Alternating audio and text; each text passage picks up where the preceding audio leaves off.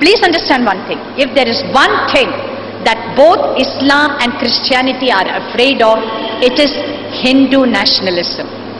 Hindu nationalism poses the biggest conceptual threat to both Islam and the evangelical church. The third